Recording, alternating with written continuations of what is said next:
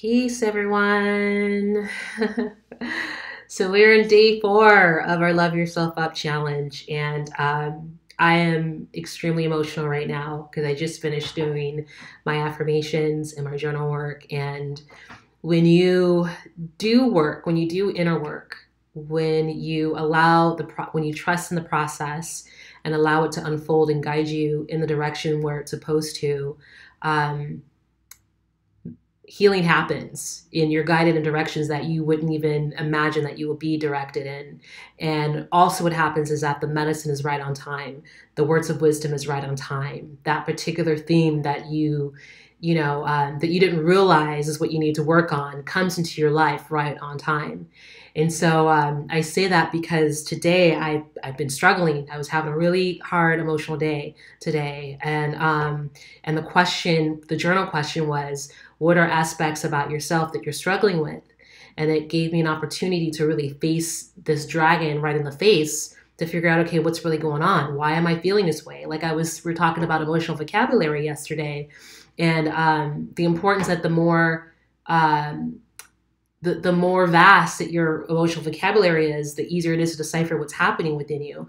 And it's the same thing with journaling as well. That's why journal, journaling is so powerful because again we uh, our, our thoughts are constantly running amok you know 24 7 and if you can take some time to just sit and to really dissect what's happening then you can get clearer on what's going on with you emotionally and then you can also get that clarity on how to move forward with it so since i'm leading this challenge and i'm going to be completely transparent and just share my story with you in hopes that it would inspire some of you out there on some level i'm having a hard time with um, being accepted I'm having a hard time being accepted by a particular family member. And because um, I went home over the weekend. So, you know, when you go home and you're around family, you know, things come up, you know, because there's a lot of just complex psychology that goes along with, with family, with siblings, because these are people that you didn't necessarily choose to, to be connected to. And so you're forced to deal, you know, if you don't quite get along, then you're kind of forced to deal with each other and maybe it's jealousy issues or maybe because you're siblings you're so similar you see aspects about yourself in that other sibling. And so therefore you you know find yourself resisting against that sibling in a passive aggressive way. I don't know. It's every family's different. Um, but um, so what i realized is that i thought i had gotten over a particular um, emotional I, I, thought I had gotten over a particular issue with with a, um, a, relative of mine, and I realized today that I didn't. I realized that it still hurts. I realized that I have this longing to be accepted by this particular family member, and so this journal gave me an opportunity to to realize that. And so, what happens next? Well, they say that all healing starts with an with an awareness, and so I'm aware of it. So now it's just giving me an opportunity to continue um, just loving myself through it, which was another perfect uh, medicine that came with today's task. Is looking in the mirror and saying "I love you" uh, for for five minutes, and I did it for exactly five minutes. You know, I looked in the mirror, just kept saying "I love you, I love you, I love you," and then having the affirmation today, which was.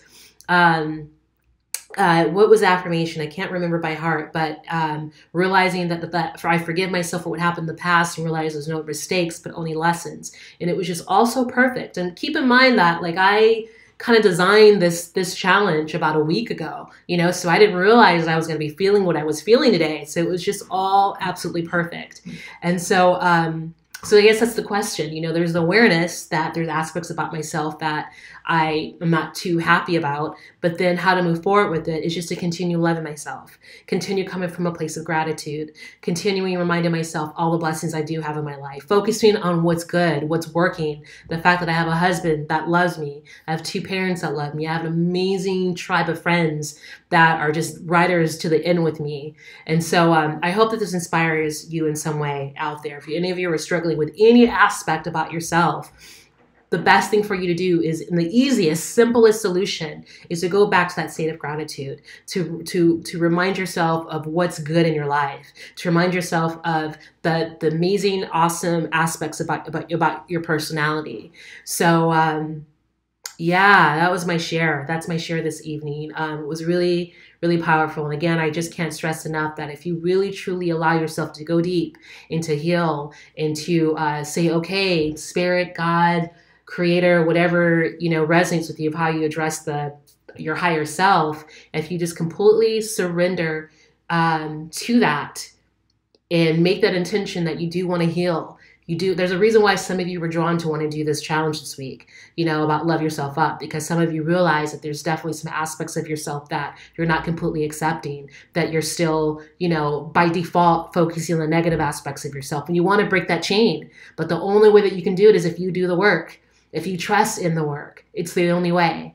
And i'm speaking from experience. I've been on this path for since geez i don't know i guess been really fully committed since 2009, on and off since 2009, but really fully set that intention since then. And it's just, you know, of course, it's going to be ebbs and flows, but as long as you just, you know, even when you when you go through those those um, resistance, those, those states of resistance, and when you don't want to move forward, and when you're just like, fuck it, I just want to numb out you know, even in those moments, still love yourself. Love yourself to health. Love yourself to balance. You know, even if you can find little one little aspect about yourself that you love, you know, even if it means like focusing on like a significant other that loves you or a friend that you know that's that's down, you know, to the very end. You know, because we it's just a matter of changing perspective okay? It, it, really is because when you really step back and look at our, your life the fact that we got up this morning the fact that we were even born if you think about all the complications that could have happened in order for us to be conceived and be carried of a mother's womb for nine months and to be birthed and like we're vulnerable as babies anything could have happened but we're here we're here. If you get up in the morning and you can see, you can you can speak, you can hear, you can feel, you can eat food, you can put your your clothes on, you are blessed. You have something to be grateful for, and that trumps all the BS that you experience from day to day. So that is my share. I hope that inspired you in some way. Uh, we have a few more days ago, and um, I know this is definitely has been transformative for me, and I hope that it's it's being trans it's it's transforming for you as well. Okay, everyone. Peace and love. Have a wonderful evening. Take care.